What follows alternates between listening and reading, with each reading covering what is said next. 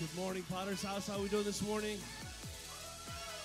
good to see you here in the house this morning. Would you all stand on your feet? So before we go to worship, let's just go to prayer for the Lord this morning. Are you excited to be here? Amen. Let's pray. God, I just pray right now for your mighty move to happen in this room. We expect big things, God, from you and your spirit. And we welcome you. We invite you, God, to come and just set on us today in Jesus' name. And everybody shouted. Are you ready to worship the Lord? Let's do that.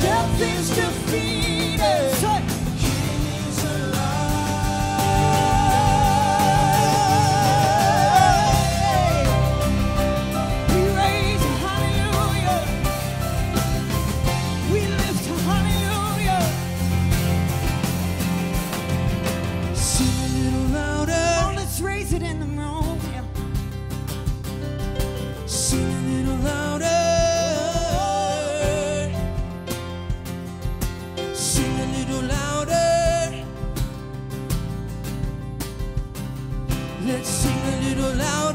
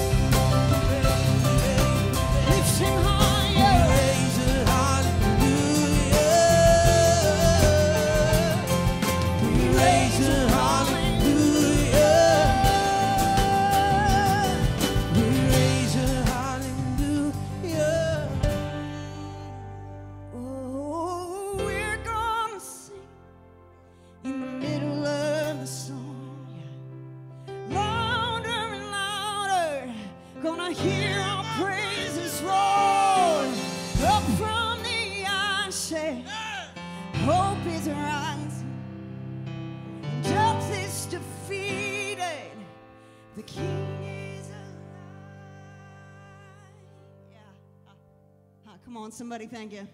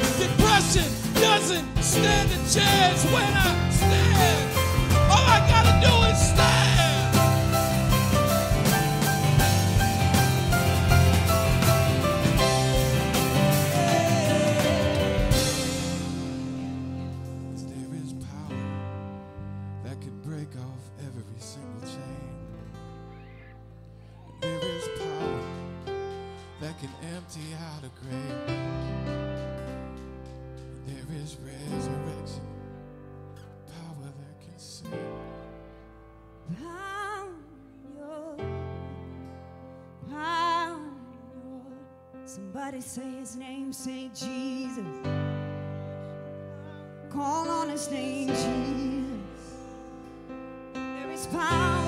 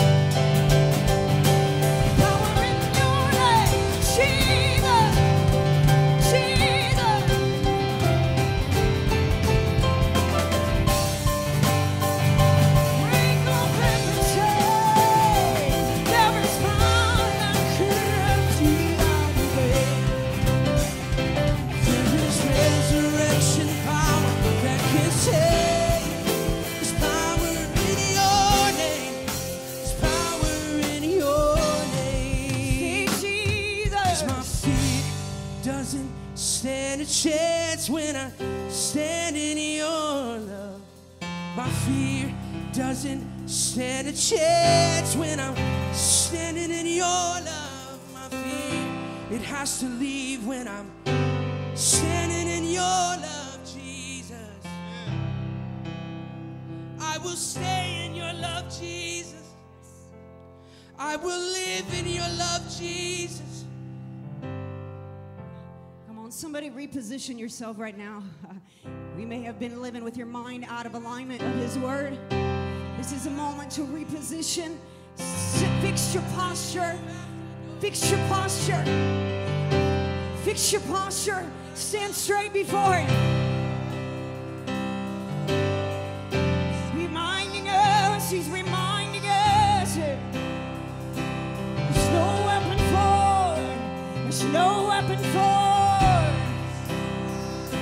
There's no weapon formed. There's no weapon formed.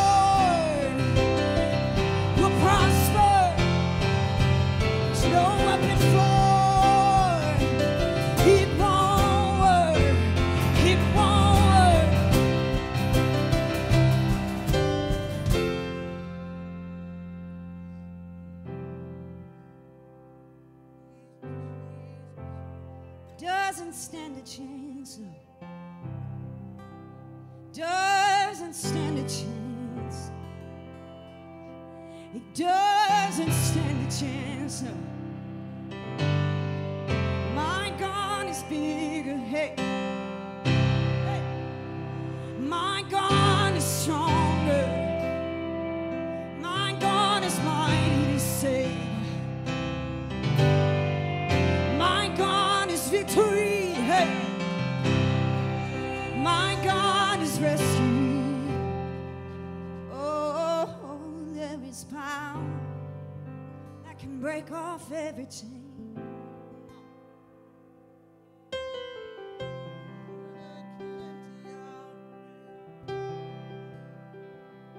There is power that can. Oh, there's power in your name. Power somebody say Jesus. Jesus. The mountains tremble. The mountains tremble. We say his name, Jesus.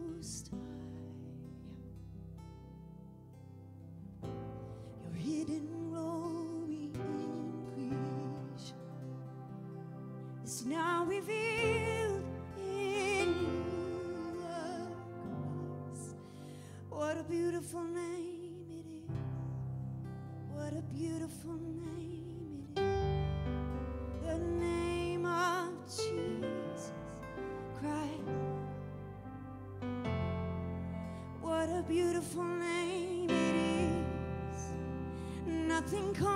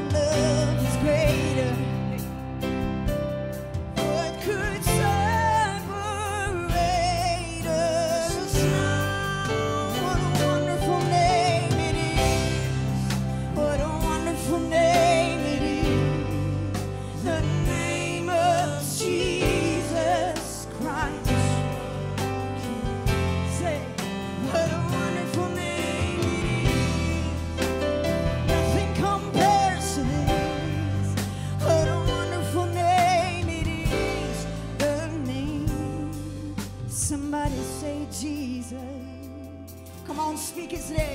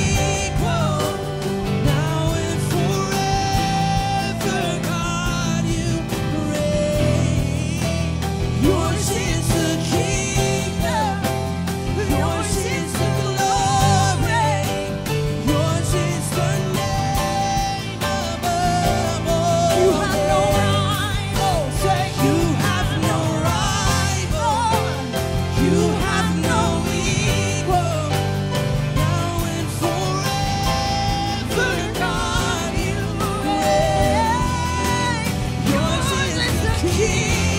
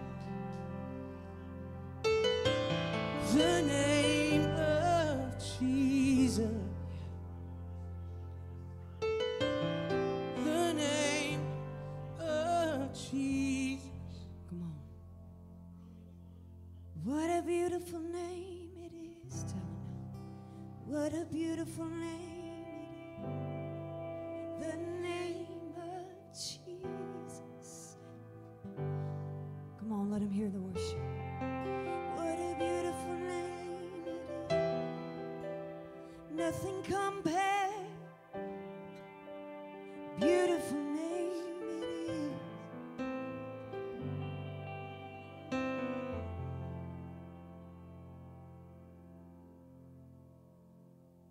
Thank you for breaking the bread of your body,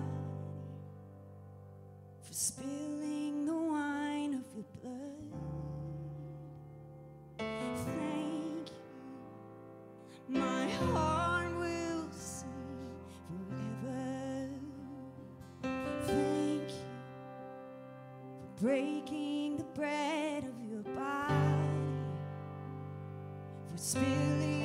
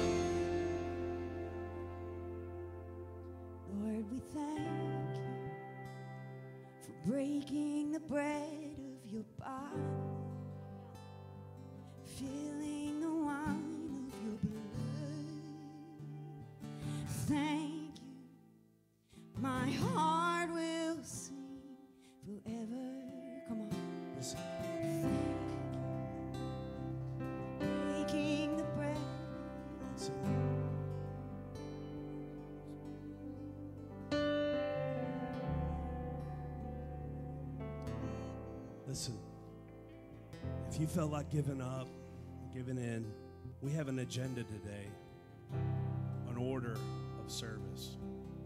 But we'll let the Holy Spirit have his way. Is that all right? I think it matters the most. It's the priority of the moment.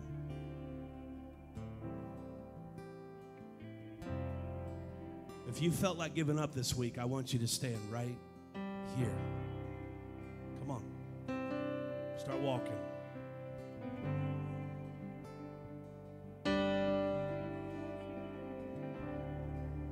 More of you.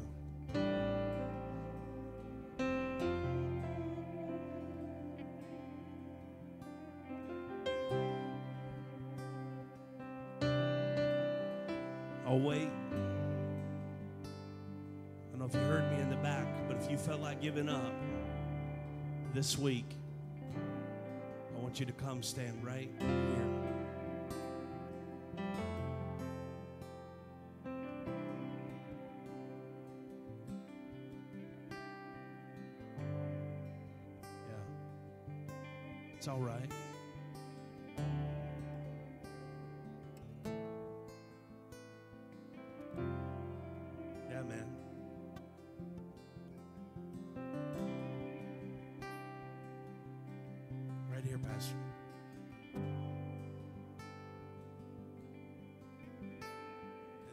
is a liar. Okay, so that's the one thing you have to understand right out of the gate. Alan, the enemy is a liar. Am I right? He's a liar. He's a, he's a thief. He's a robber, and he's trying to steal from you. God is greater than the enemy. Lift your hands. Father, in the name of Jesus, everybody help me out. Don't be a spectator, be a participator. Let's pray for those that have almost given up this week, but you're still standing. Come on, you're still standing in the name of Jesus.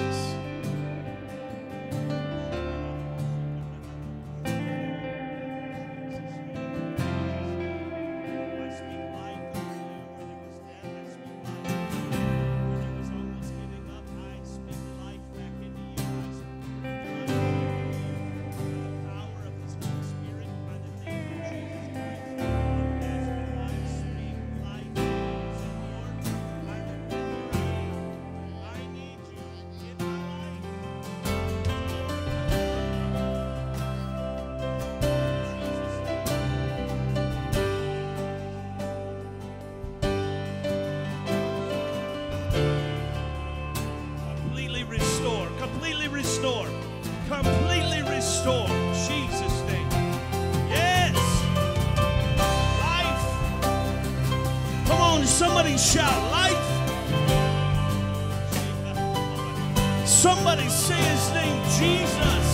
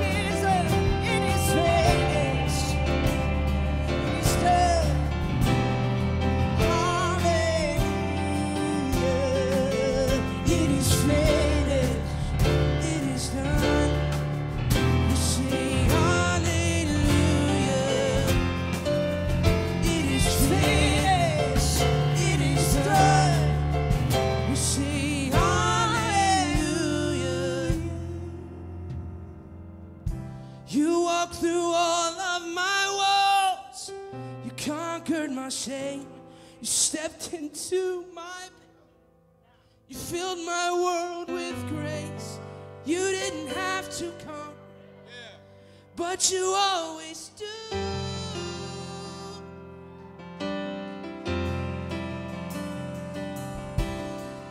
You walked through all of my walls.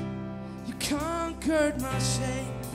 You stepped into my past. You filled my world with. You didn't have to come, Jesus, but you wanted to. You wanted me, You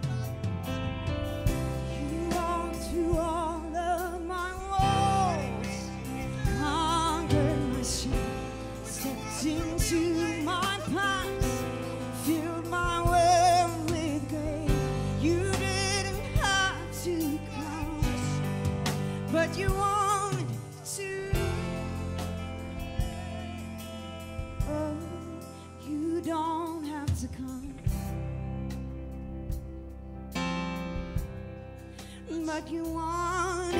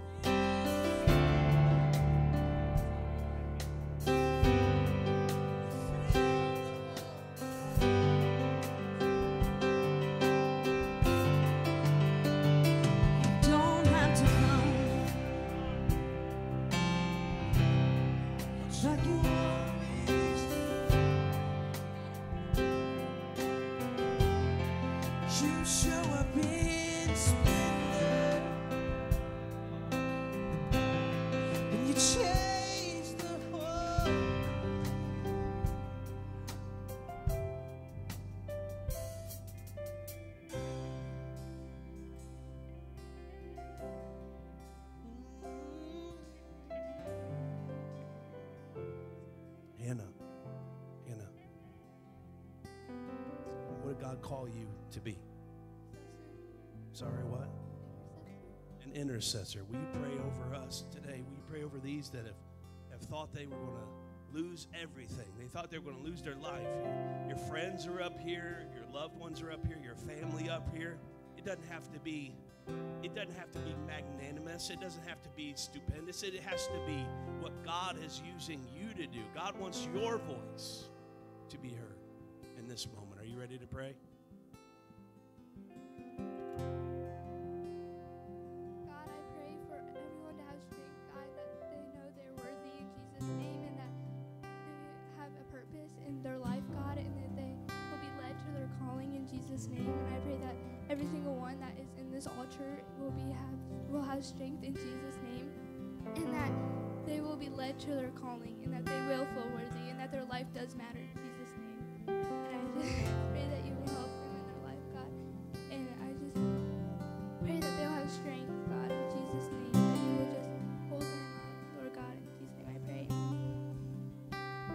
Come on, let's give God praise. Amen.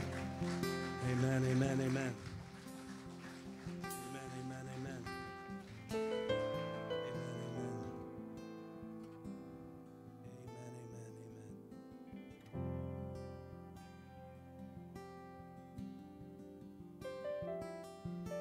amen. So I defeat the spirit of suicide in Jesus' name. Can we agree with that right now?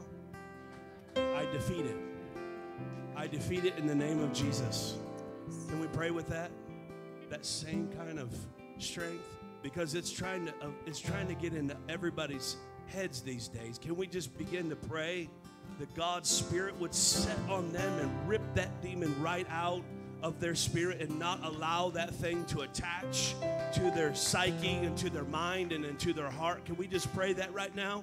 Father, in the name of Jesus, I just pray, Father God, in the name of Jesus, that there would be a, a spirit that would rise up against the enemy, that the, the, the devil of suicide, that's as much credit as you get, the devil of suicide would be defeated in Jesus' name. That no longer, no longer would the enemy have reign over those minds and those hearts to say that it's over, that it's done, that I'm about to give up my life.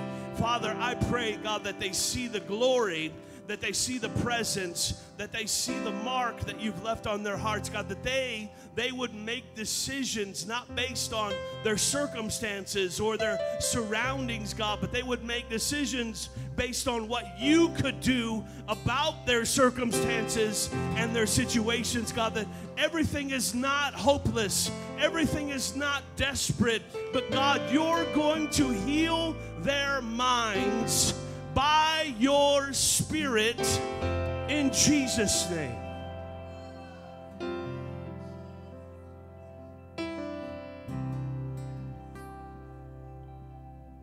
and send a revival into their hearts. Send a renewing spirit, a restoration take place. In Jesus' name. If you believe that with all of your heart, would you just give the Lord a huge offering of praise? Amen.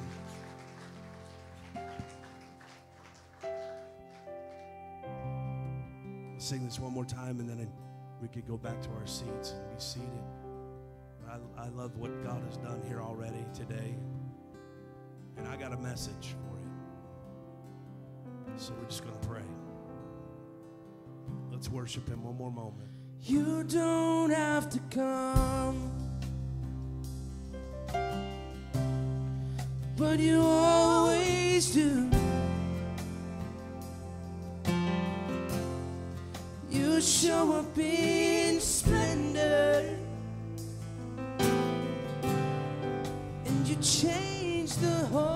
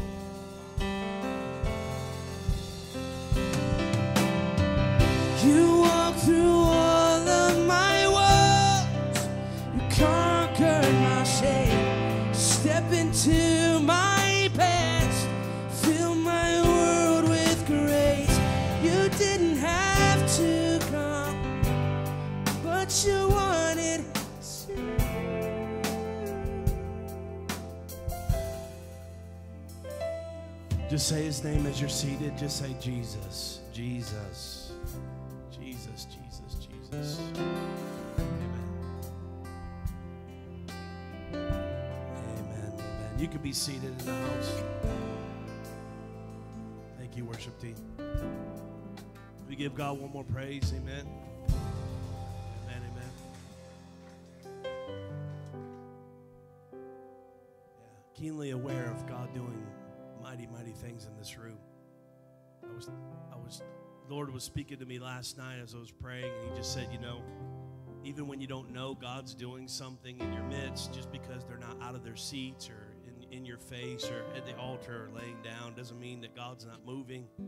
So I'm keenly aware that God's moving in your life, even when you haven't stepped out of your seat to come down to an altar. I know God is moving in you.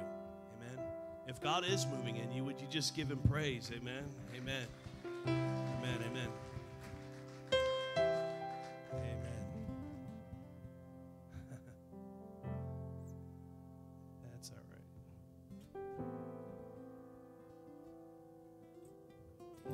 To save that to the end.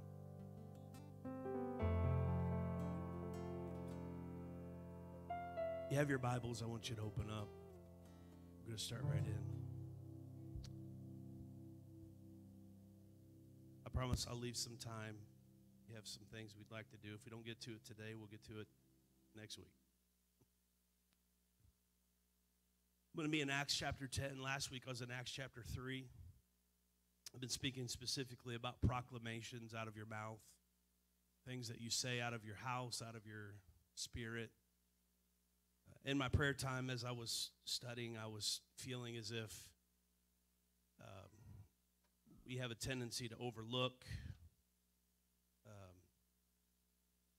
in the Word of God what God says about proclamations and the proclamations that are supposed to be over our lives. And we start proclaiming things that don't make sense. you know, I want the newest whatever. I want the newest of this. I God, I know you can do this in my life. I I want, I need, I have to have. I want this thing, so make this happen.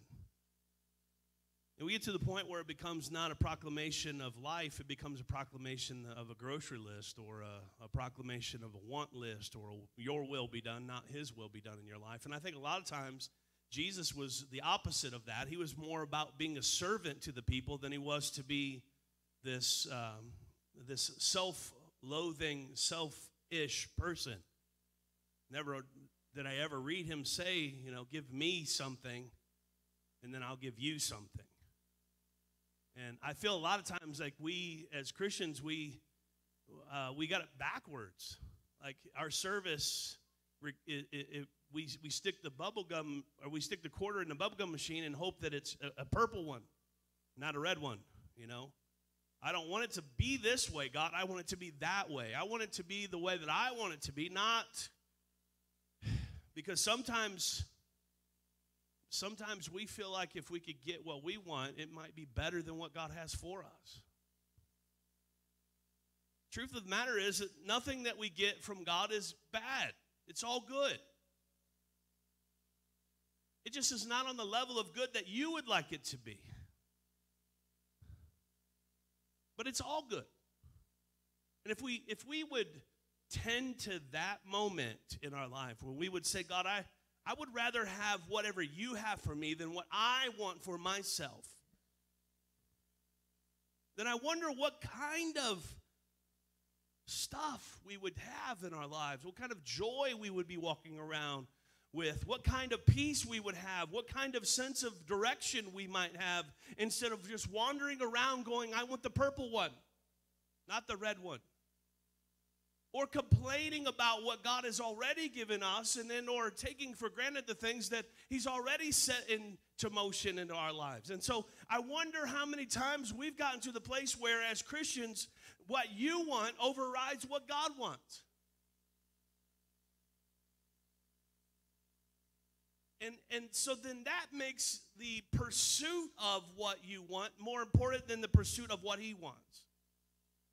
And so then we get our minds twisted up to think that, God, if I can go after that, if that's what I think would make me happy, I will run with it as, as much as I can. And what happens is you become so busy going after something that's not supposed to be in your life that you're exhausted in your busyness of trying to get there.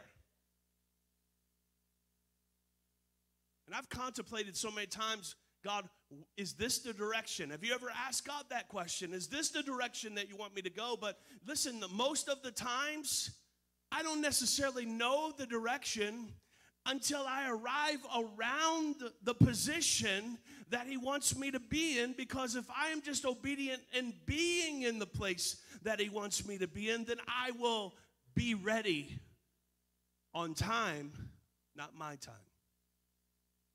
God equips those for the work of the gospel of Jesus Christ. I'm going to jump into some stuff today, but I may not have time unless you're okay staying a little bit.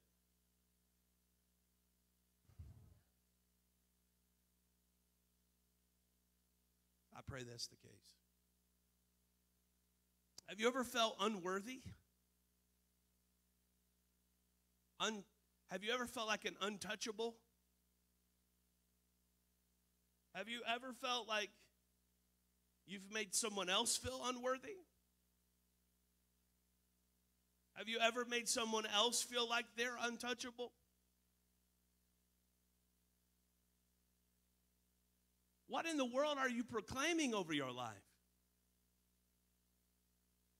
What are, what are, you, what are you saying in the midst of your struggles? The reality is, God did a big, big miracle right here, and y'all, y'all got to witness it just now. He may have rescued some folks from some dire situations. He probably restored. So, come on, God is moving in the potter's house in Mansfield. He, he, he restored some folks back to Him for a moment. He gave them a sense of confidence and put that back and instilled inside of them a sense of moving forward. Sometimes when you come to the end of yourself, you find yourself.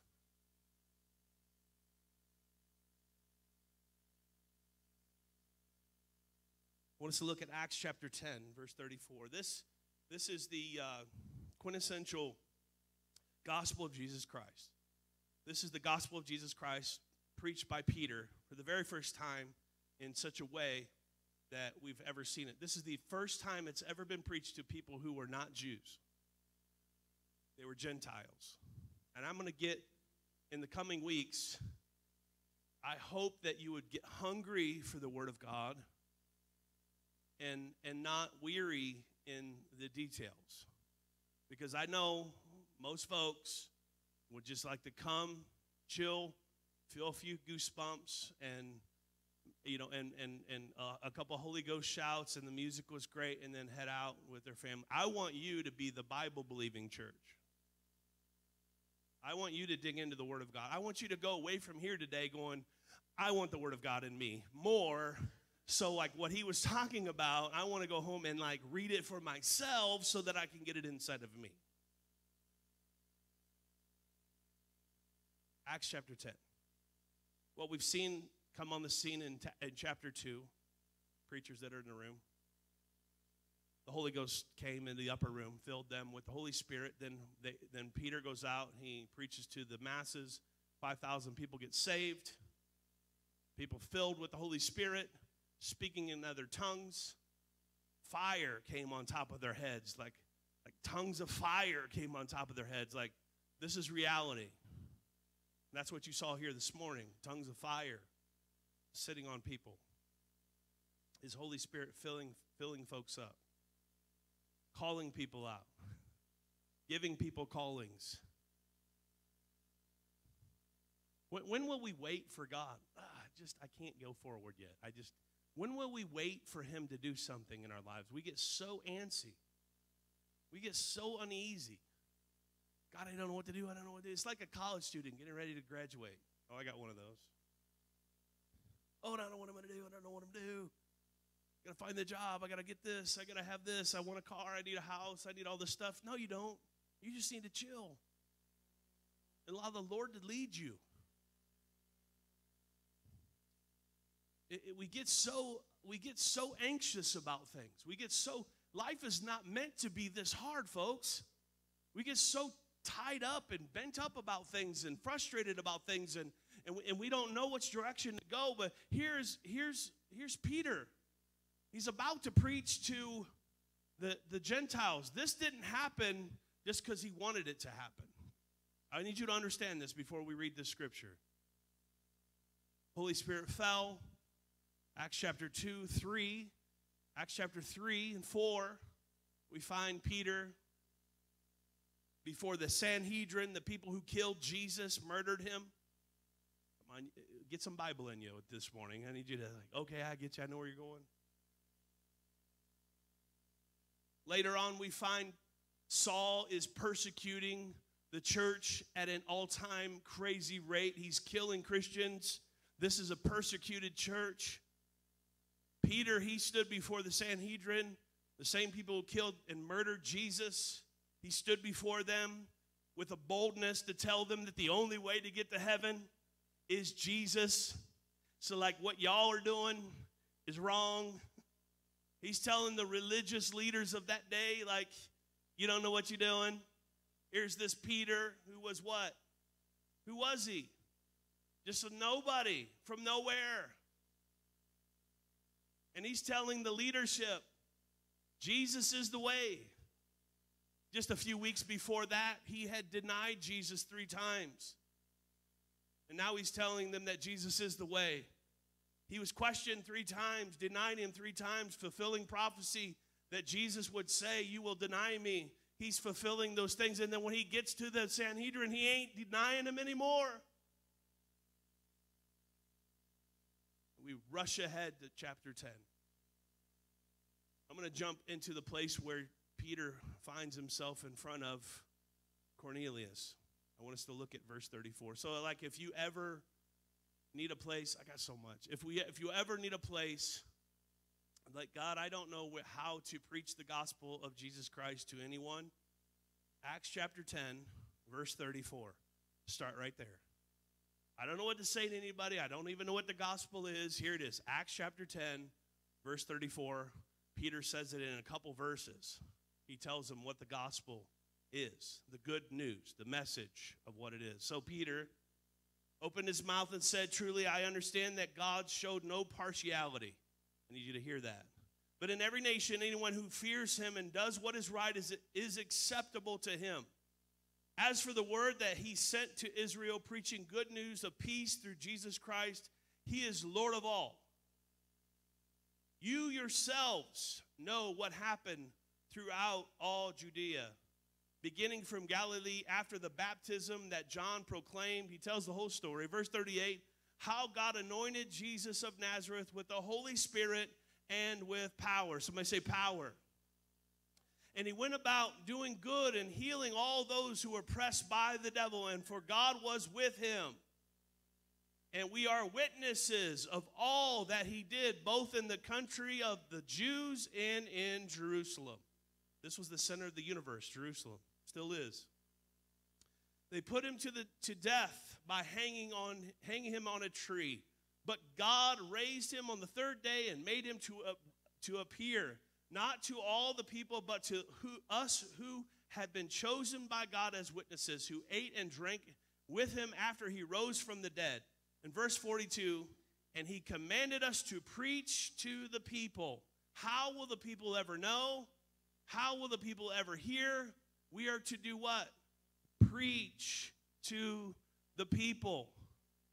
Come on, if you're a Christian, this is your this is your job description. Preach to the people. And test and to testify that he is the one appointed by God to be judge of the living and the dead. To him, all the prophets bear witness that everyone who believes in him receives forgiveness of sins through his name. The gospel. The gospel. The pure, simple gospel of Jesus Christ. Easy. Through Jesus Christ and his sacrifice, you can be saved. Here's the difference. This is the first time and really a forbidden moment that, that Peter finds himself in. He finds himself. How did Peter get to this specific moment? I love this story. This is probably one of my very favorite stories in all of Scripture. If you had to ask Pastor, what is one of your favorite stories in Scripture? It was the day that Cornelius prayed for Peter show up at his house.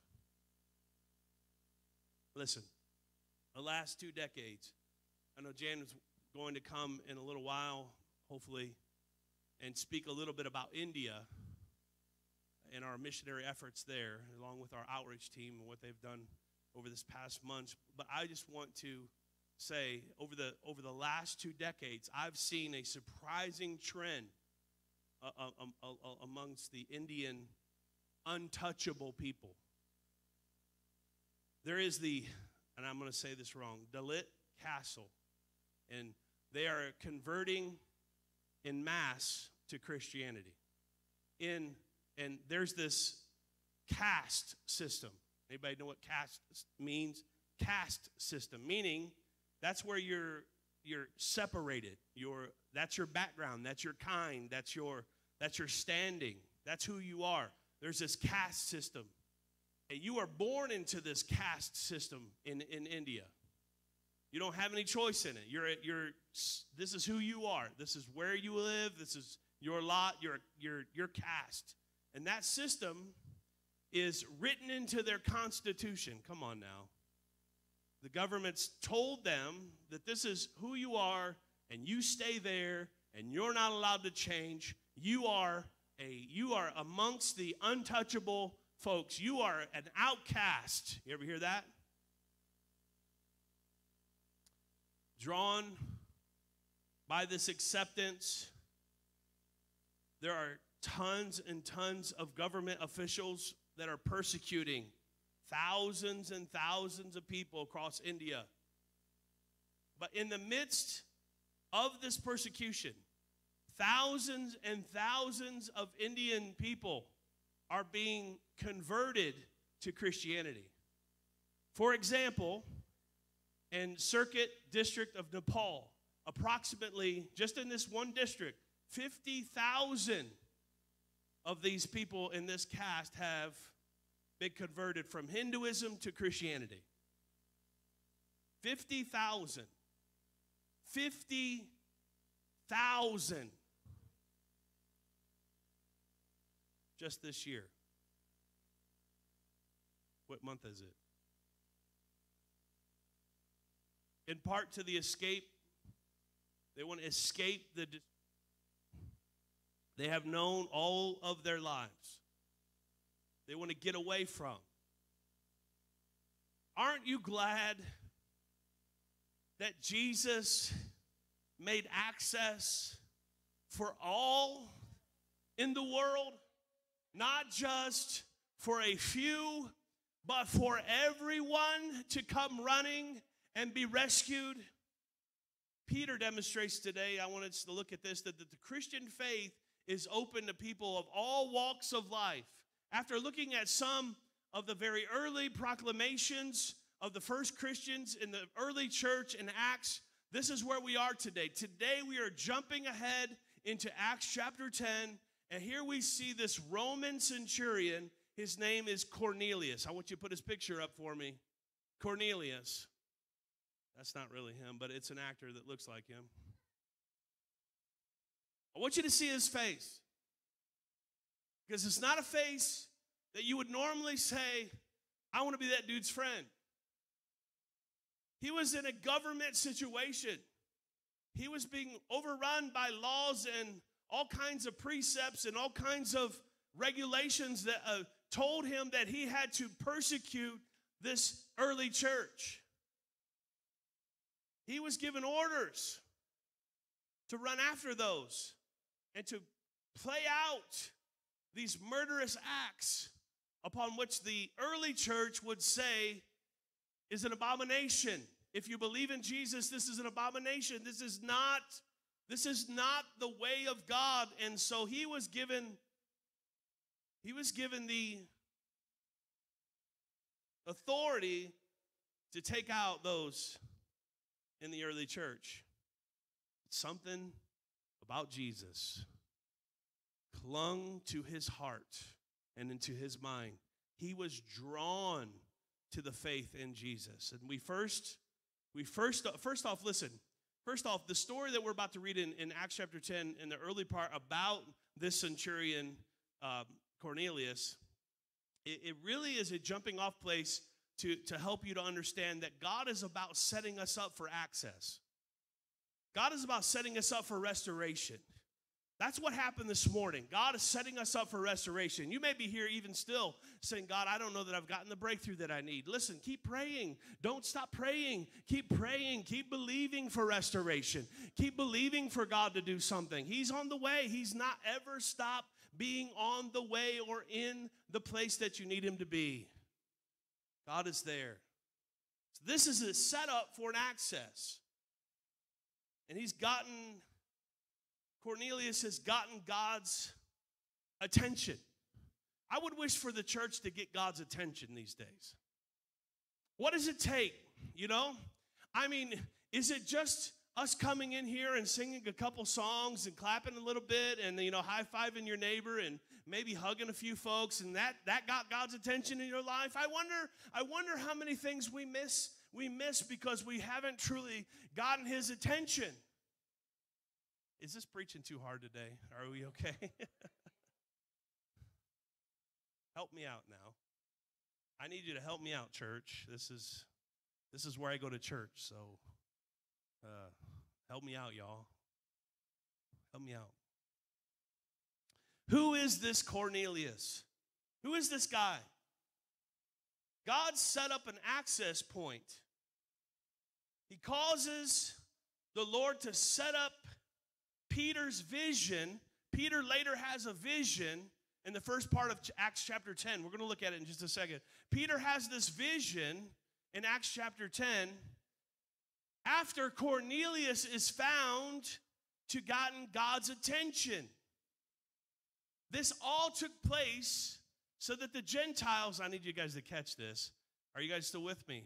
So that the Gentiles could have access to God so that you and I, you and I, if this moment hadn't taken place, I mean, I imagine God could have done it somewhere else in history, but if this moment hadn't taken place, then we, we, as the people of God, we couldn't have access. It was forbidden. And so God set up an access point. Somebody say access point. Because of Cornelius's prayers, because of his generosity, because of his obedience, because of his love for God, God set up an access point.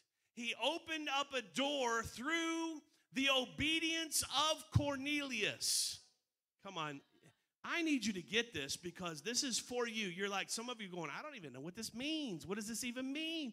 What this really means is if you are loving, if you are generous, if you begin to pray, if you begin to obey the Lord's words, if you begin to love with this, this crazy love that God's put in your heart, if you begin to say, I'm no longer going to live that way and I'm running after Him, what kind of access points will God open up in your life?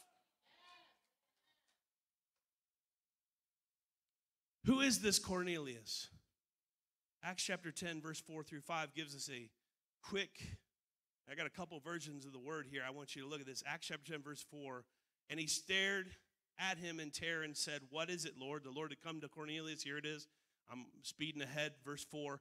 And he said to him, Your prayers and your alms have ascended as a memorial before God. And now, and now, send men to Joppa and bring one Simon who is called Peter. Mm, I need to get this. Let's look at the message version of this. You got it, Luke? Or whoever's back there, Landon? Sorry. One more. Thank you. I want you to look at the message version of the same scripture. We all know that the angel in this scripture is the Lord. The Lord. The Lord came in the Spirit he said, Your prayers and neighborly acts have brought you to God's attention. Your prayers and your neighborly acts, if you back up, he was a giver and he loved people and he loved God. His obedience got God's attention. In the very next part of that scripture, it says, Here's what you are to do because you got my attention, it's going to take you to do something. for the next part of your life to happen. And a lot of us, we want to sit and wait for God to do it anyway. And we're not going to get out of our seats until it happens. But the truth of the matter is, God is calling us to action. He's not calling us to sit down, He's calling us to stand up and walk in faith. Walk in faith. Walk in faith. Come on. God is calling us to walk in faith, not sit down. And because he was able to have the, the, the information ahead of time because of his obedience, the Lord's voice spoke to him. I'm going to say it again. Before Peter has a sermon with the untouchables, Peter had a vision. And he goes on the roof of a house of Simon the tanner. Same name. He was like, Simon, Simon. Simon says. They were high fiving. He's in the house of Simon the tanner. Peter goes to the roof and he has this vision. He's, he's laid out in the Lord. He's in a trance, the Bible says. He's in a trance and he has this vision of a sheet and unclean animals are coming. And then he hears a voice. Come on now. Listen, when you get a vision of God, listen, Peter was already filled with the Holy Spirit. He had already prayed, he had already he had already prepared, he had already been in an upper room, he had already fasted, he had already waited on God. He was filled with the Holy Spirit. He goes out and he preaches the word to them and 5,000 people get saved. And then right right after Paul is laid in the street in Damascus and his eyes are blinded and he becomes Saul becomes Paul. Right after that happens in chapter 9, Peter has a vision. Because what? Cornelius was obedient. The Holy Spirit shows up and lines something up for us, which I feel like is the pivotal thing in Christianity today, thing that we need to take upon ourselves. I want us to look at it. Acts chapter 10, verse 13, it says, And there came a voice to him. This was the voice of the Holy Spirit. The Holy Spirit speaking to him. It's a very simple command. He said, And there came a voice to him, and the voice says, Rise, Peter, kill and eat. Rise, Peter, kill and eat. But Peter said, by no means, Lord, for I have never eaten anything that is common or unclean. And then the voice came to him again a second time. What God has made clean, do not call common. This happened three times, and the thing was taken up at once into heaven. It's like God had to do it three times. Let me smack you in the face. I want you to say this with me Rise, kill, eat. Rise, kill, eat. Rise, kill, eat.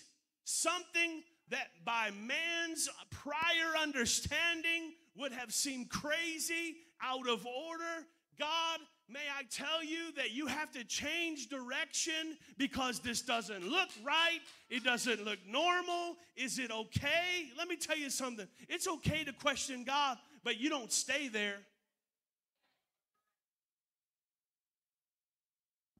And I hear him saying, uh, Hey, Lord, you've never let me down this way before. I hear Peter saying, You've never told me to do this way before. But God, I'm filled with the Holy Spirit. I have something on the inside of me that is a part of you. And I don't have to I don't have to sit in rebellion anymore. I don't have to sit in this way anymore. I can run with obedience and know that if you said it, I'm going to do it. And I didn't know I didn't know this was allowed is what he was saying. I didn't know if I could even believe this way. Let me just tell you something. God wants to break the back of religion in this world. He's looking to break the back of religion. I don't care what it takes. I don't care what it looks like. I don't as long as it doesn't put me in prison, but if it puts me in prison, I guess I'll go to prison like Paul, whatever it takes. And here's the ultimate goal. God, I know what you want to do. The reason why this all took place, the reason why he had to be led down this way was because Uh, because of one purpose, one line of effort, is was to save souls, to save souls, to save everybody, to get them to a place of eternity. Somebody give God praise. Oh, you can do better than that. Come on. Come on, let's hear a hallelujah. How about a yes, Lord? How about a oh, yeah?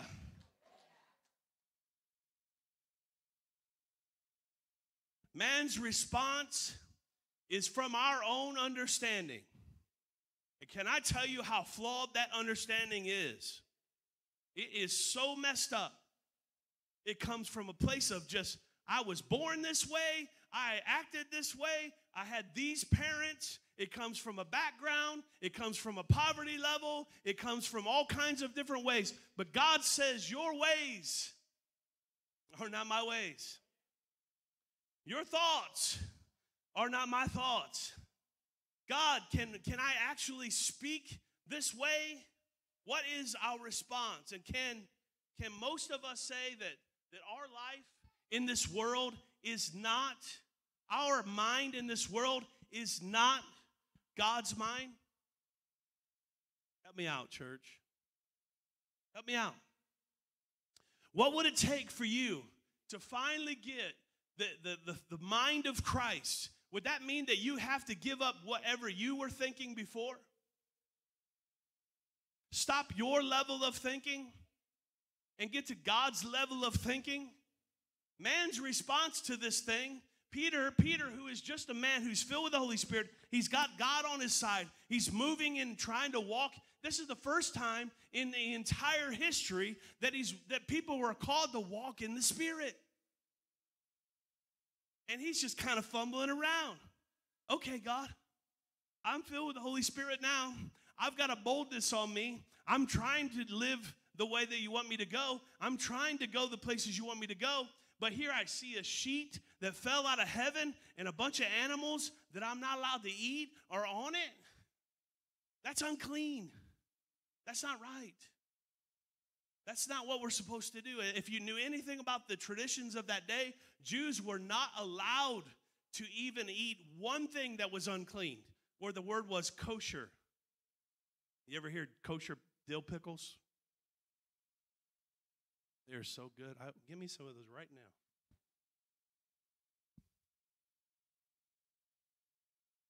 For the first time, we see this mindset. Peter looks across the chasm of the rooftop and he sees these animals coming down on the sheet. God speaks to him. These are for you. Rise up, kill them, and eat them. God, I've never eat, eaten anything like that before. We're not allowed to touch those things. We're not allowed to even be around those nasty pigs. We're not allowed to be around that stuff. Somebody told me I wasn't allowed to eat bacon,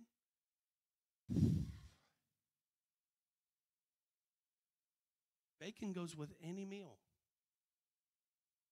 or snack. Here we see Peter on the roof going, God, this doesn't seem right. Like for generations, we've not been able to do this thing. And and, and this and and this happened. Peter doesn't know why this is happening. He's like, "What is going on here, God? Why are you telling me this?" And and, and then all of a sudden, the voice says, "Those things that you say are unclean, I have made them clean. I have made them sanctified. I have restored them. You can eat them. And for him, I imagine him saying, God, okay, but I, I hear what you're saying, God. I hear what you're saying, God, but but but is what? You're doing what? You're really, you're really, you're really turning this thing upside down, God. You're really, you're really changing the culture. You're really, you're really changing the entire atmosphere of what the church is supposed to do, God. You're really shaking this thing up. Why are you saying all these things? A man's response is from our own understanding. God can and will speak, and our response can and most often is with a puny understanding. But God, somebody say, but God. God comes on the scene. I want us to look at a scripture. It's found in Isaiah 55. The prophet Isaiah spoke of this before concerning God's compassion towards his people. I want you to hear what I just said again God's compassion towards his people. God has compassion towards his people. He's always been in the millenniums that he's that he's created us. He's, he has he has been he's been trying to get us back to that cool of the day moment like Adam in the garden. He's trying to restore us back. In Isaiah chapter 55, verse 8, it says, For my thoughts are not your thoughts. Come on, come on. I'm re- come on. I if I studied it and I'm preaching it, I want you to just acknowledge it, okay? Okay. Isaiah chapter 55, verse 8, For my thoughts are not your thoughts, neither are your ways my ways, declares the Lord. For as the heavens are higher than the earth, so are my ways higher than your ways and my thoughts than your thoughts. I want to see this part right here so clearly defined in your life. I want you to hear this. I want to put it on the screen. God's creation is not common. It's not common. It's not a common thing. I think it's I, think it's no accident we are dealing with suicide this morning because the and, and I call that thing out right now. I bet it's scared to death. Like, to call it out. I'm to call it out right now. I, I think it's no accident we would call that thing, that demon out this morning because that demon's defeated. Defeated completely. There's no, I have any problem saying that, okay? That demon is defeated in Jesus' name. So we call out that, listen, the church got to stop playing games. You got to stop playing games, church. The church has got to stop playing games. We're not just in it to just high five each other. We're in it to really get the things figured out that need to be rooted out of our lives so that we can live in victory and live in joy and live in peace. And listen, so if I call it out, that thing of suicide, I don't think it's any accident here. God's ways are higher than our ways. God's creation is not common. God set this moment up for you today that if you have if you have a common kind of mentality, I want you to say to yourself, I am not common. I am God's creation. Say it. Come on, some of you are, that are dealing with this stuff need to say that. I am not common. I am God's creation. It's not a confidence booster, it's the truth. This is not a self help session. This is you getting everything that God's called for your life. All right. What God has made and created, He wants to, listen, restore. He wants to sanctify, meaning He wants to make clean. He wants to change. He wants to make clean. He wants to change and make acceptable. He wants to make you acceptable. He sends for Peter, and the apostle shares the gospel with him. And so Peter's message to Cornelius is found in Acts chapter 10 that 34 through 43 that we just read, one of the first things that stands out about Peter's proclamation is that the substance is the same, whether he is proclaiming the faith to the Jewish leader or to the high priest or to the Gentile, this Roman centurion. The substance of the message remains essentially unchanged. Jesus was a man of great power who was crucified but then he rose from the dead, and now there is forgiveness in his name. Somebody say amen.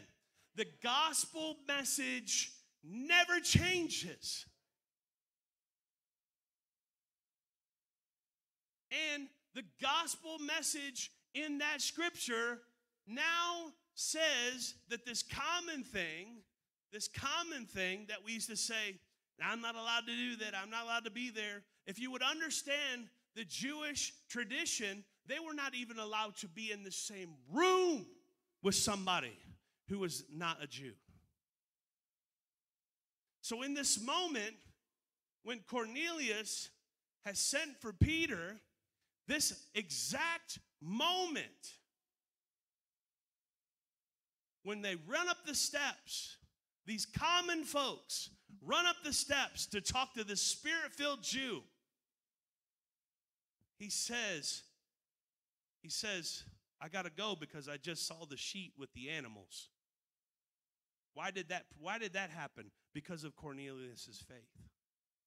God had already set in motion the, the, the, the histor- historical moment that would happen there.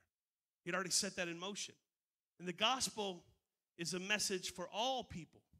It is not fluid in the sense that we, we can, it can be discarded in, in certain times and places, but rather the gospel, the same gospel, is to be shared with all people. And this doesn't mean that the text, the message is communicated the same way, because the message of the gospel has been has been translated and brought into different atmospheres and cultures all across the planet. We're going to talk about one today. Hopefully, we can get there still. If we don't, we'll get there sometime. Peter doesn't spend a long time appealing to the Old Testament prophets as he did in Acts chapter 2, but there isn't just one way to share the gospel. The gospel is shared and should be the same regardless of the people with whom it's being shared with. Though the core message is the same, there is a new emphasis in the application of the gospel. That look at this in verse 34, he says it like this. Put it on the screen. God shows no partiality. What does this mean? Well, Cornelius was a Gentile and therefore he was part of that people. But he loved God. He wasn't ex- included into God's covenant with the descendants of Abraham, Isaac, and Jacob, and Jewish ceremonial law governed Jewish thought and practice on what was, what was clean and what was unclean. By that definition, he was a common person. Gentiles were considered no different in their unclean state than, say, a pig. God for Jesus. we all be sitting around here going, but Peter realizes in the divine encounter with Cornelius that this is no longer the case. What God had made clean, let no one declare to be unclean. Acts chapter 10, verse 15. The cross of Christ is the great leveler of our lives. Despite your background, despite your sin, despite your success, your failures, your ethnicity, whatever it comes, the cross of Jesus Christ comes to make all people new. Peter proclaimed the gospel on that day and realized the truth of the impartial God. Paul would later celebrate that same truth when he declared these words in Galatians chapter 3, verse 28. Put it on the screen. There is neither Jew nor Greek, there is neither slave nor free, there is, there is no male or female, for you are all one in Jesus Christ. The result of Peter's obedience and sharing the gospel, first of all, it was Cornelius's obedience that spurred that spurred Peter's obedience. But Peter jumping up and going to Cornelius's house, man, what I would have loved to be a fly on the wall in Cornelius's house in that moment. It, it, when, when Peter shows up to Cornelius's house and he shares the gospel of Jesus with these folks, proclaiming the word to the untouchables. Come on, somebody. He was proclaiming the word of God to the untouchable people. And in Acts chapter 10, verse 44, this is what happened. I'm almost there. Are you okay? Acts chapter 10, verse 44, he says, While Peter was still saying these things, the Holy Spirit fell on all who were heard the word, and the believers from among the circumcised who had come with Peter were amazed because the gift of the Holy Spirit was poured out even on the Gentiles, for they were hearing them speak in tongues and extolling God. Then Peter declared, Can anyone withhold water for baptizing these people? Listen, who had received the Holy Spirit just as we have, and he commanded them to be baptized in the name of Jesus Christ. And they asked him to remain for several, for some days. Listen, Peter finally had come to the proof.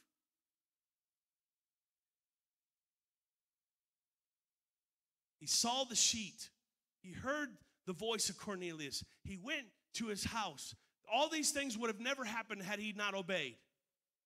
Had he not obeyed, then the Gentiles would have not ever received.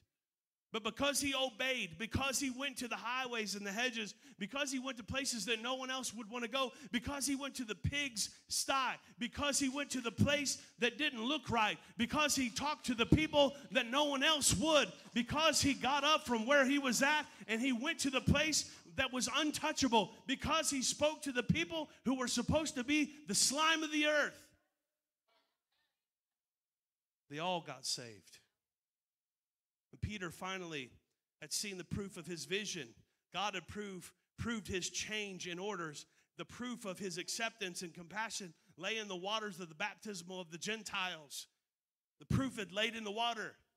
We had baptism last week, right? Were you here? If you were here for the baptism, you got to see us lay the stuff in the water. We went down dirty, we came out clean, we left the junk in the water. Listen, we're not going to go back to that way anymore. I'm not going to live that way. It's symbolic message of I'm not going to live this way any longer. I'm going to leave that junk in the water. I'm going to walk in faith. I'm going to walk in Jesus. I'm going to I'm going to hold my head high. I'm going to take I'm going to take responsibilities for my actions. I'm going to take sin and let God rip it out of my life. I'm going to let his son Jesus Christ disciple me. I'm going to be a I'm going to be risen with him. I'm going to be sitting right next to Jesus in heaven. I'm going to be worshiping him. I'm going to have a seat at the table. I'm going to leave that junk in the water. I'm not going back the way I used to be. I'm going to leave that stuff there and I'm going to move where God wants me to go. Come on, somebody give God praise.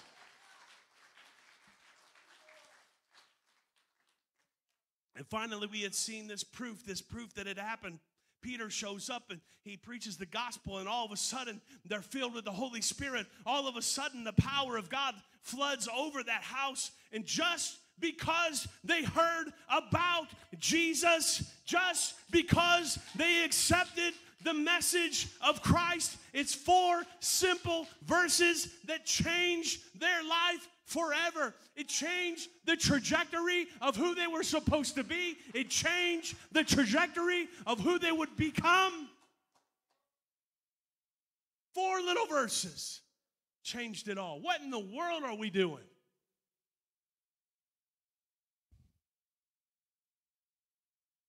Like pigs, they went down in the water.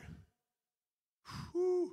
I'm reminded of when Jesus when Jesus cast the demons out of the pigs. I'm reminded, I'm reminded, whoo, I'm reminded of when Jesus cast a legion of demons out into the pigs.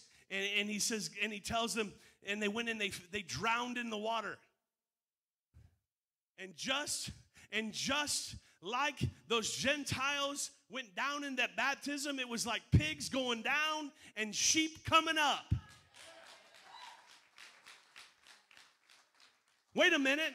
You used to have a pig face. You used to snort a lot. You used to look untouchable. But all of a sudden, you're going, nah.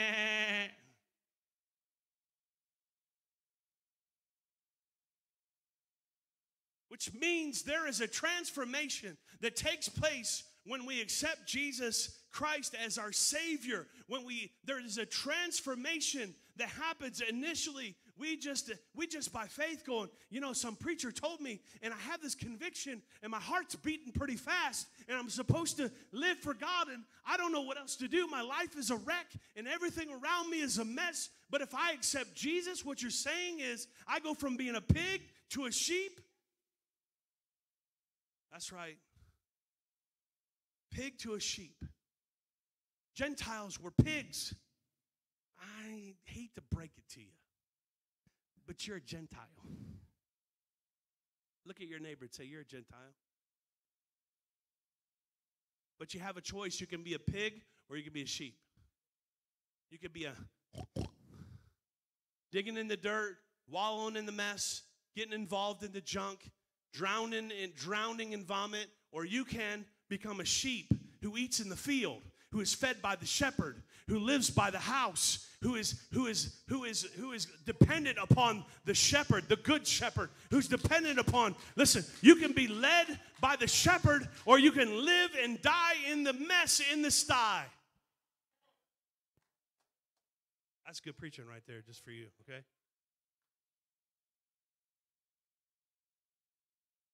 And up until now, Peter has told nobody in this brotherhood about this story. He's he's kind of heart beating. Oh gosh, what just happened?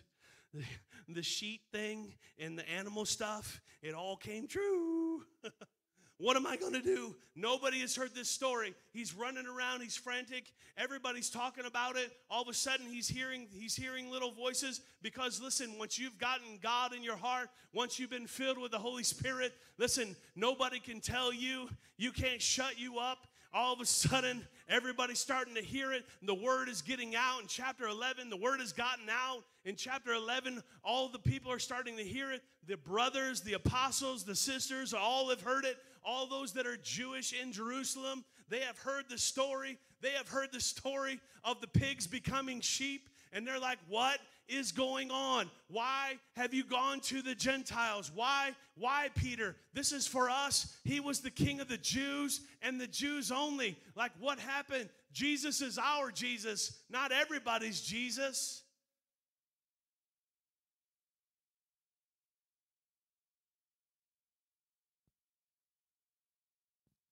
Come on, I'm preaching today. Are you all right? And up until now, Peter told nobody, and then he goes to his brothers to tell the story.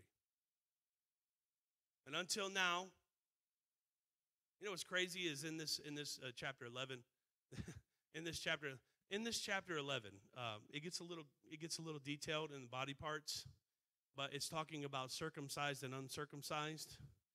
And for those that don't know, talk to Teresa afterwards, and she'll tell you circumcised and uncircumcised. For those that are moms, you'll understand. If you have a son, you get it. Circumcised, uncircumcised. You understand what that is. And as, as, as a baby, that's usually when that takes place, so that they, they don't understand what's going on anyway. But what's crazy in chapter 11, and, and translated correctly, my favorite version of the Bible is the, is the ESV, my very, very favorite version. In the actual English trans, translation, if you were to look at it, it says the circumcision party. Meaning, meaning that they were part of a, a group of people that called them the circumcision party? As if you were to walk around going, I'm proud of that.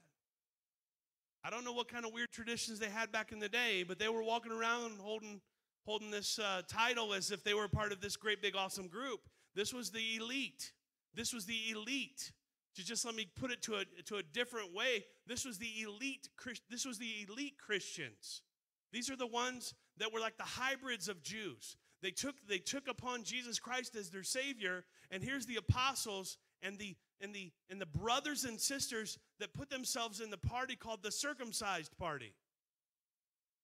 I know today we're all about, oh goodness, I can't believe they got that.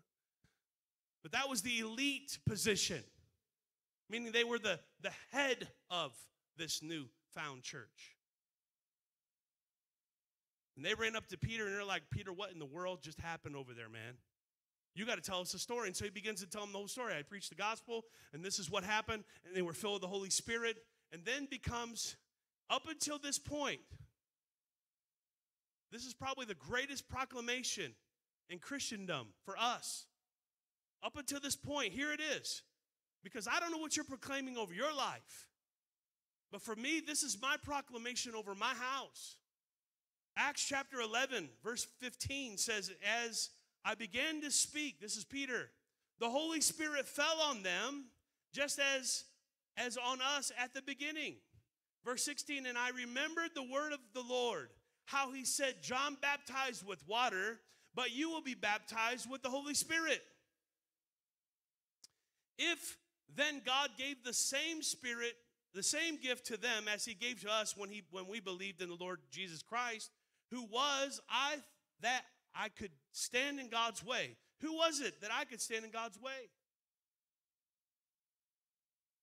Verse 18, when they had heard these things. Now, when you hear that kind of tone, it means like they got nothing to say except this. This is what they say. When they had heard these things, it fell silent. It shut up all the doubt because they had proof. They had the proof of the Holy Spirit filling them up, speaking in other tongues. And they glorified God, saying this. This is the this is the proclamation. Are you ready?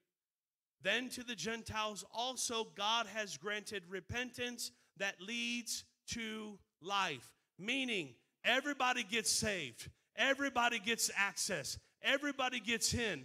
Everybody's able to make it to heaven. Everybody's able to sit at the table someday. The reality of this one miracle was recanted by the to the apostles in Jerusalem. This brought about the great historical changing proclamation. The Gentiles also have been saved. They also have access. Then to the Gentiles also God has granted repentance that leads to life.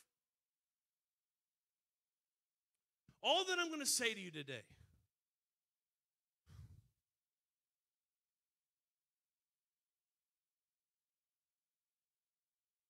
what the world calls common, God says it's not common.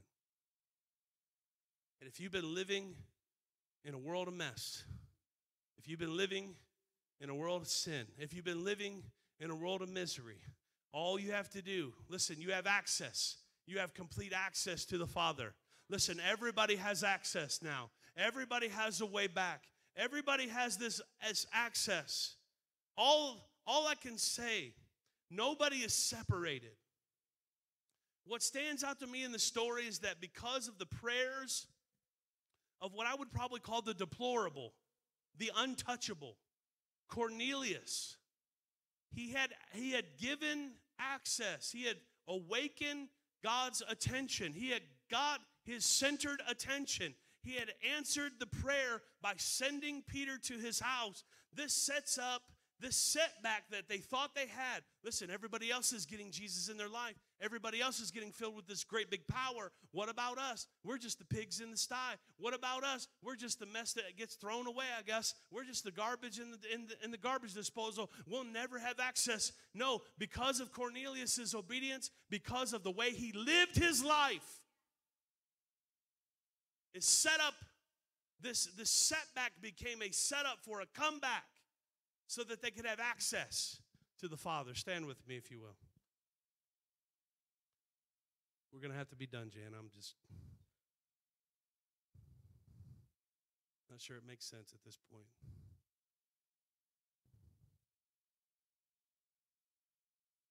Can you be ready again? I'm sorry, I apologize. Okay.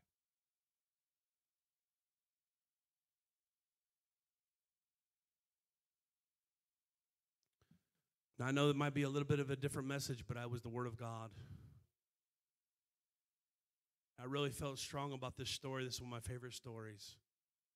What I realize is that is that there because of this this act, because of this one because of this one act of Peter, because of his obedience to go to Cornelius' house, that we all have access. We all have access. It could have happened another way. There could have been another story, but this is our story. This is your story. This is your kid's story. This is your grandkid's story. This is your way back. This is your access. The one thing that it stands out to me the biggest in the story was that Cornelius was, was called common.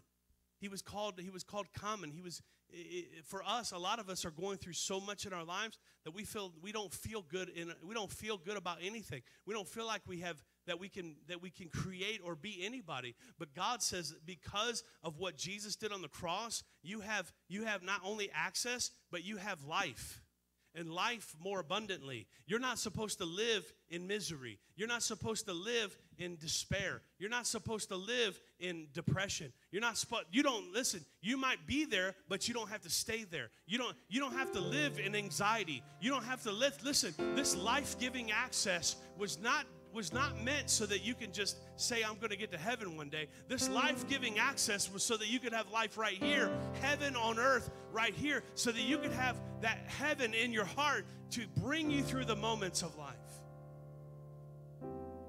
Cornelius probably never even imagined,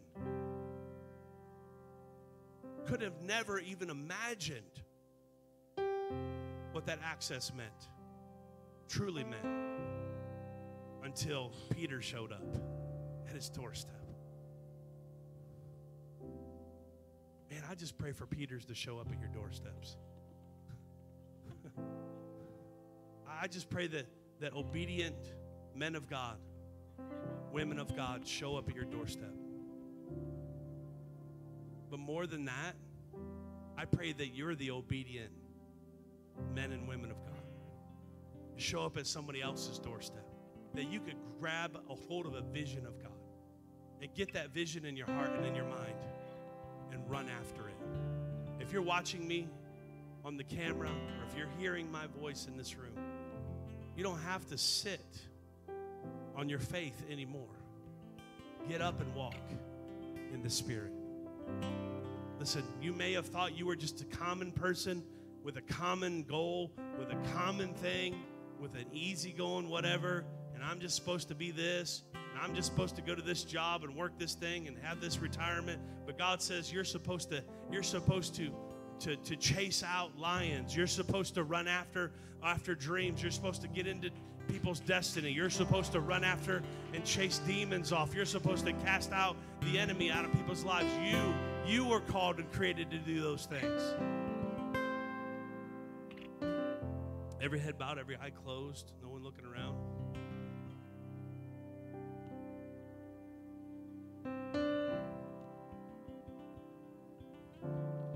Just want you to say this with me I have hope now.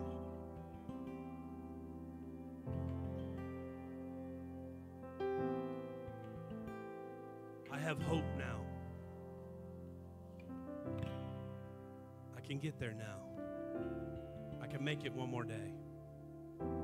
See, the reality of what Jesus did on the cross was so that you can make it not just into heaven, but every single moment of every single day. You may be standing in this room going, I, I don't think I can make it one more moment. We already prayed for a lot of folks, but maybe you need prayer. Maybe you didn't come up here earlier. Maybe you need a breakthrough. This is your moment. As they worship and sing this song, this altar is open. We're going to be here for a few few short more minutes. Then we'll be dismissed. But I want everybody to stay in place. I don't want nobody moving around. If if you if you have to leave, I get it. I won't I won't point you out. But I just I I just feel like this moment is sacred. We should take a second to really understand what God wants to do in this moment. If God is calling you to a higher place, this is your moment. Let's worship the Lord for just a second and we'll pray.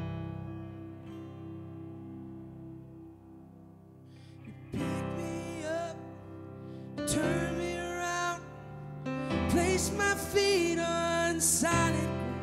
I thank the Master, I thank the Savior, cause He healed my heart,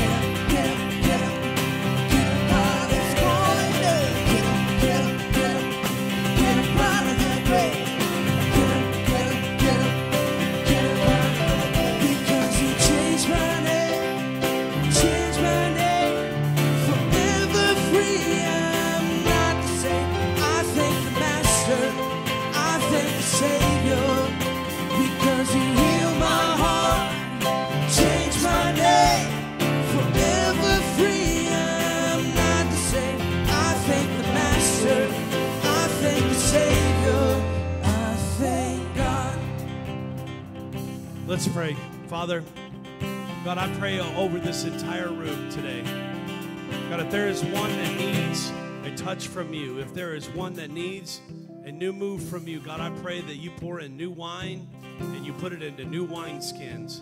I pray, God, that you you pour out your spirit on them that God, you meet them just like you met Cornelius and the people in his house.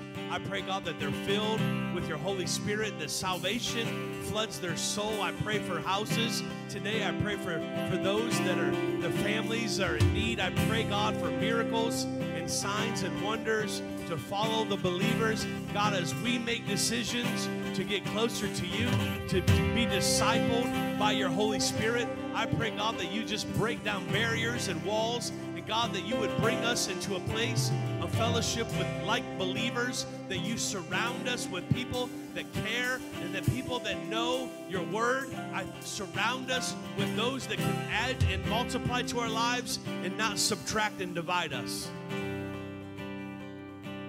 Jesus' name. And everyone shouted, Amen, amen. Amen, amen. Before we leave, let's, uh, before we go, thank you. Before we go, I want you to just, uh, can we just give God a big hand clap of praise for who He is? Amen.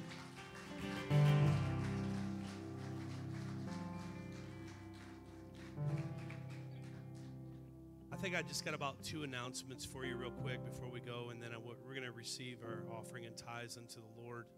So if you can prepare those as I uh, as I get these messages out to you. Um, specifically, there's a whole lot of stuff happening in your bulletin. Um, if you get that, you can get that online, I believe, as well. We have that online as well. You can look at that. You should never miss anything that we're doing. It's all online, Facebook. It's in your hands if you're here. It's on our our Facebook, um, our family page.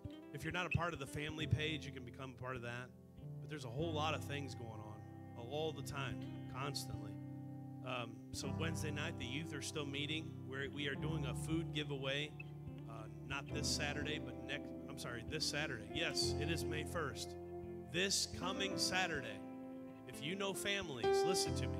Hear me out. If you know families that need food, we are giving away a lot of produce, free stuff for them to just pick up. Don't have to sign any paperwork. There is no there is no kind of rigmarole. All it is is they're dumping off truckloads of food to us, and we are giving it away. And I don't, I don't, I, I just want to bless the body of Christ. I want to bless anybody that needs it. But this Saturday, this Saturday, somebody say this Saturday, we'll be bringing fresh produce to the parking lot at noon, noon, 12 o'clock. Out this Saturday. Volunteers will be needed though to unload the truck, set up the tables, direct the traffic help load cars and all those kinds of things. Miss Barb, where you at? Oh, there she is. Miss Barb is in the back, and she will help you. Um, she's holding up signs. We want to make sure that we get this out. She, you guys can take some of those signs, maybe put them up at your work, wherever you're at.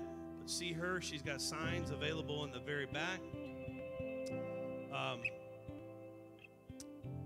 the PHP outreach will be having a meeting next Sunday, right after, uh, immediately after the service in the coffee room. This is for anybody who wants to know more about how they can get connected to what we're doing with our outreach ministry. So if you want to be connected or be involved in any way, um, you want to you want to be at that meeting right after service next Sunday. Next Sunday, I just want to make a plug. This I know this is a week away, but or about a week and a half away. But the March of I'm sorry, the March of Prayer, the National Day of Prayer is Thursday, May 6th. We will be downtown with our worship team, uh, downtown uh, at 11:30 at the gazebo in the Central Park. So you want to be there for that. A lot of other things happening. I want you to just check out your bulletins for that. Um, if you would like to give online, you can do that today. Text to give, that should be on the screen, hopefully.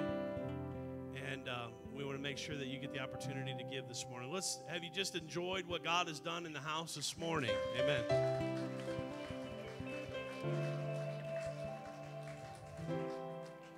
And I just want to make mention, I uh, I pushed back what happens uh, with uh, with Pastor Jan today. She uh, wanted to come and speak about, and she will she will speak about um, India in our in our uh, missionary work in India. I know I made mention of India today. Um, we have missionary. I'm sorry, we have pastors on the ground. They're not missionaries. Pastors on the ground from India that are working in India. Um, and we are going to try to support them. Today, you can give today an offering. All the offerings today, if you're giving an offering, um, right there, you can give an offering right in the, the second part of that text. If you'd like to give an offering, you can give by check, you can give by cash today. All the loose offering today and anything designated offering today will go specifically. This won't be the only opportunity to give to India. Um, so if you're like, I want to give, but I can't do it till next week or whatever, we want to make sure that you have the opportunity to hear the message about India and what that means. And so I want you to, to do me a favor. If you would specifically designate some uh, finances towards our mission in India, it is specific. They are trying to go out and preach the gospel in probably the, one of the biggest, um, most contentious parts of the country. They want a mobile church so they can get out and go, we need to help them get there. And so we want to do that. That mission you'll hear about from Jan in maybe a week or two. Okay? Amen. Amen. All hearts and minds clear. Let's pray. Father, thank you for today. I thank you for this word, which was burning on my heart all week. And I pray, God, that it would go and effectively do the work that you called it to do. God, I pray over this offering and this tithe, which is holy. I pray, God, that your what you do in this place and what you do through people, God, would be miraculous. And God, thank you for access. Thank you for a way back. Thank you for the obedience of one so that we could have access to the Father. We love you today. We thank you, Lord. In Jesus' name. And the church said, Amen. God bless you. Thank you for your giving.